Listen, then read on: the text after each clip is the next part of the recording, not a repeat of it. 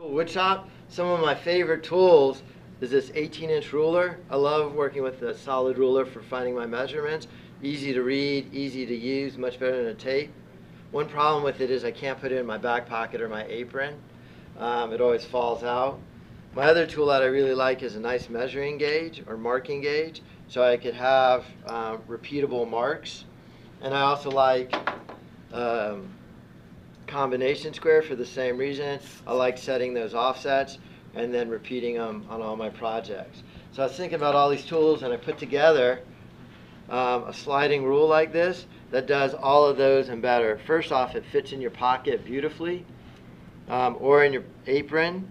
It's a 10 inch rule, clear markings. You just loosen up these and then this travels out. So you have a 10 inch rule all the way up to 18 inch rule.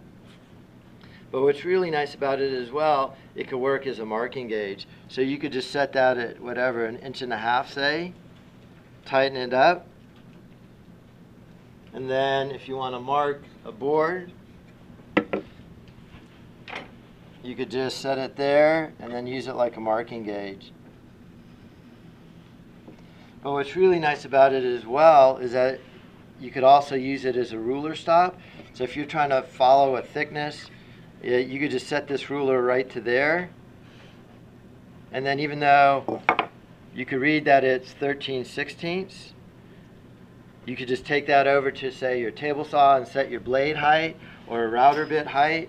If you want to keep any measurement, say the width of this box, you could do that as well with this. You could just loosen it up, bring it on there to that shorter measurement and then use that side and use it like a ruler stop. And now you know you're at uh, five and a half.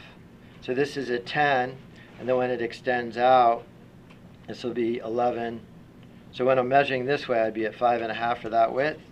But I could also you know if I'm doing inside measurements if I want to find the inside measurement here I could actually just take this and fit it inside the box and find my inside measurement lock it in place, and transfer that measurement anywhere.